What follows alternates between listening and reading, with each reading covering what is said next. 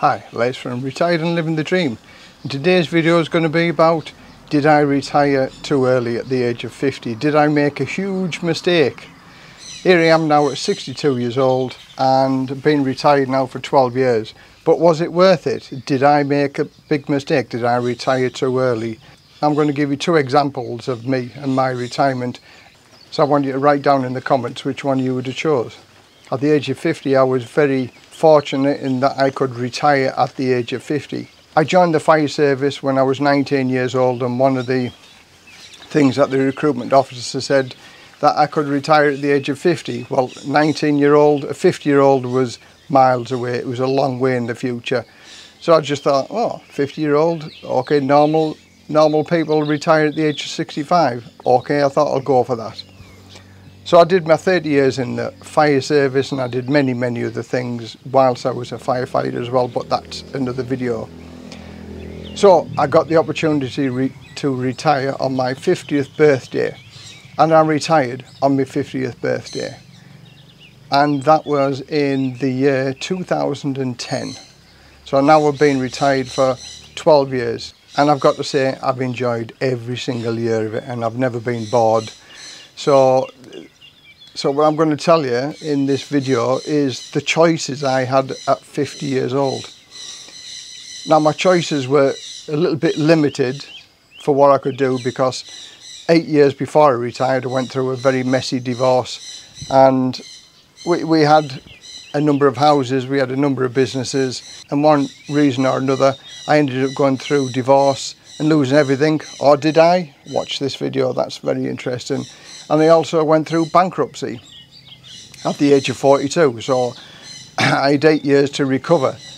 I've always had the positive attitude of, of getting on with life no matter what happens to you you just get on with it and make make do and do the best that you can.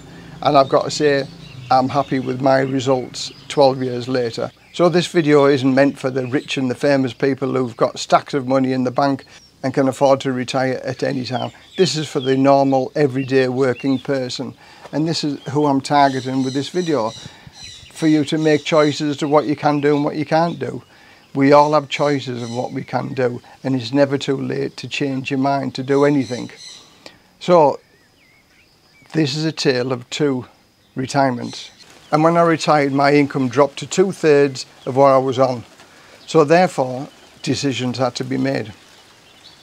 So I'm going to go through, these are the type of houses that I could afford at the time.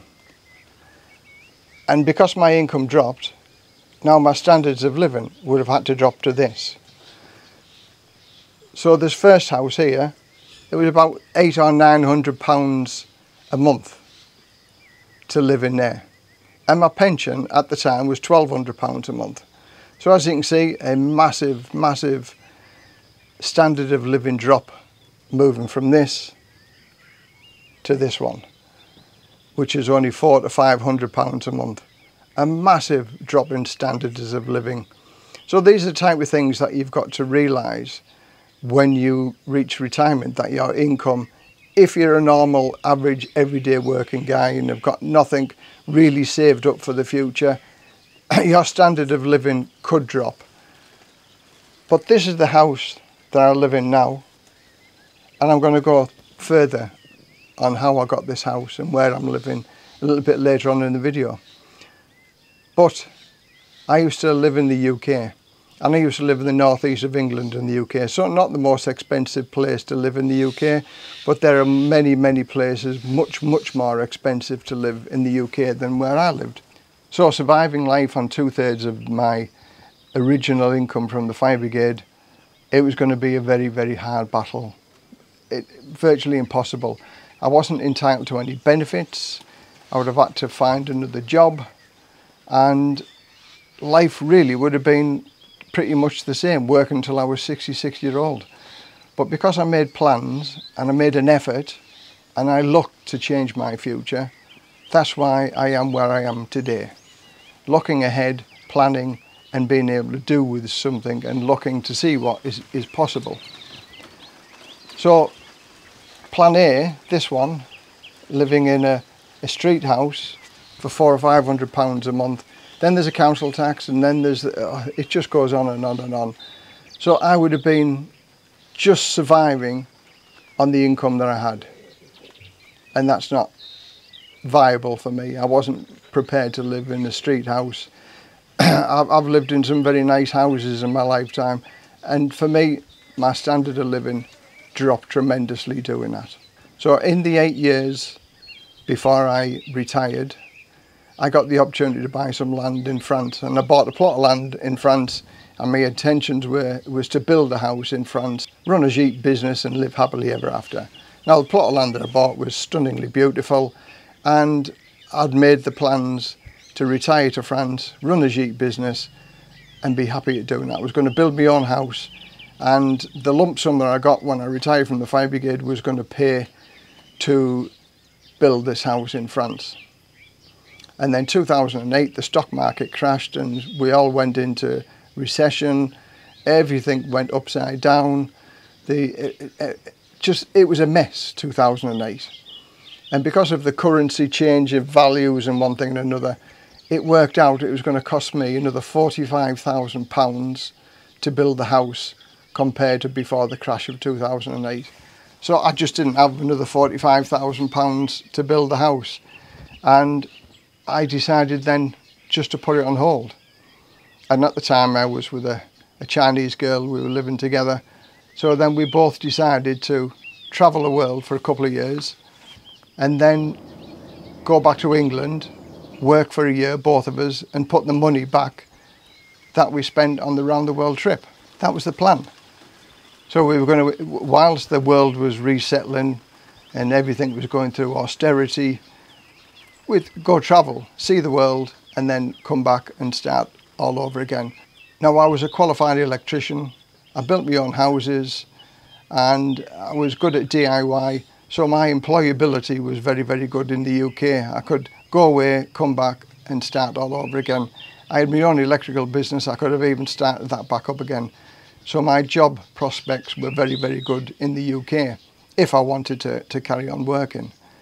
But we did around the world for two years travelling and then another bombshell dropped and it was the fact that my Chinese wife decided she didn't want to live out of a suitcase anymore, she didn't want to travel the world and I said to her we can live anywhere in the world if we want to and she said no I want to go back to Redcar where we lived in the northeast of England, work for the same coffee shop and live in the same flat if she could get it. Well, I wanted more than that. I didn't want to retire and then live back in England, back to the things that I didn't want to do. So I walked out on that relationship and we got divorced and I carried on my travels, knowing then that I was in a position where I could do exactly what I wanted to do. Now the plan of us both going back to England and working together to put the money back into the bank that we'd spent on our round the world trip, well, that just disappeared, didn't it? And although I could have worked back in England myself and worked for two or three years and put the money back into the bank account and then carry on building my house in France, that dream sort of went because I discovered new new things that I could do by talking to many different people around the world. I discovered a whole new lifestyle that awaited me and it wasn't going to be building a gîte in France. So I've, I've been to Thailand many times before and I discovered that Thailand was the place for me. So after two years of travelling around the world, I decided to move to Thailand and actually stay here. So I thought I'll give it six months at first, then I fell in love with the country and this is my second retirement plan. So this was my second plan B for retirement. And you look at these houses here, how much he was going to take of my income. I've still got the same income, but now I can afford this. I live in a beautiful two bedroom detached bungalow in the countryside, beautiful views, five minutes away from a, a beautiful beach and 30 minutes away from one of the most beautiful tropical islands in Thailand. And this is all for the budget of living in this house here. To get this standard back in the UK is unachievable on this amount of money that I have to live on. So when you retire, you have choices. living in the wealthiest countries of the world, they should have everything. Opportunities, freedoms, everything like that. But why are people living like this in tents? Why are people going to food banks in the UK? Why are people in poverty in the wealthiest countries of the world? Thailand isn't one of the wealthiest countries in the world, but it's in the top 11 places where people want to retire to. None of the five wealthiest countries in the world are in the top five list. Now, what does that say about living in a wealthy country? Poverty in these countries, I've seen in America, the land of the free, tent cities in Los Angeles, Las Vegas, the wealthiest places in America, and people are living on the sidewalk in tents. I don't see that much poverty here in Thailand. Yes, there is poverty here in Thailand, but not to the extent that there is in America, the wealthy, one of the wealthiest countries in the world. Crime. Crime is everywhere in the world. But with the drugs and the gun crimes, everything that goes on in America is terrible. The crime that goes on in London, I've seen ram raiding, people getting the scooters pinched, carjacking. Unbelievable. Crime to that extent doesn't exist here in Thailand. Crime does exist, but very, very little in comparison to America and the United Kingdom.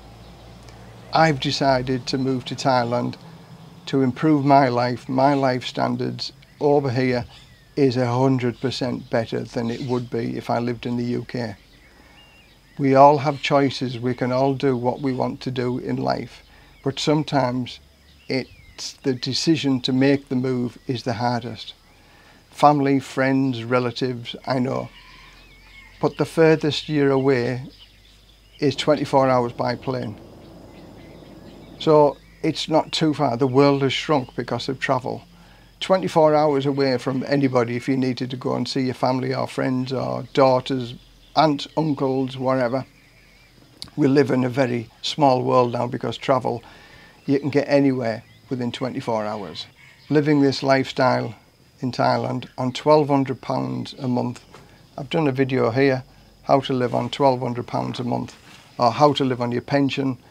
And I've gone through the facts and the figures and exactly how much it costs me to live here. £1,200 a month. I'll put all the figures up here for Australian dollars, euros and American dollars and do a comparison, see what your lifestyle would be like if you had to live on this amount of money every single month in your country and look at the standard of where I live here in Thailand.